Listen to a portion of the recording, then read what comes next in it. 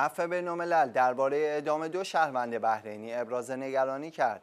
سازمان عفو بین‌الملل ضمن ابراز نگرانی درباره اجرای احکام اعدام دو شهروند شیعه بحرینی تاکید کرد که اعتراف‌های آنها تحت شکنجه گرفته شده است.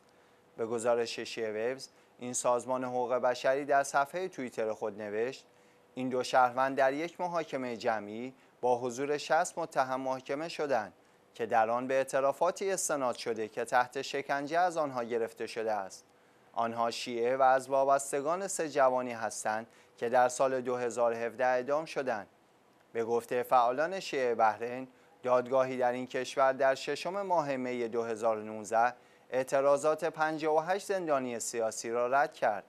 علی العرب و احمد الملالی از جمله متهمان هستند که حکم اعدام آنها صادر شده و علاوه بر آن برای 48 نفر دیگر نیز حکم حبس 5 ساله و لغو تابعیت صادر شده است.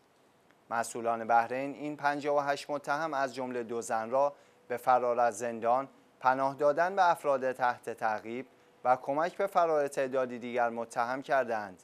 به گفته فعالان بحرینی از سال 2011 اقدامات محاکم قضایی علیه معترضان و منتقدان داخلی این کشور شدت گرفته و حکومت آل خلیفه صدها نفر را به زندان انداخته و تابعیت آنها را لغو کرده است.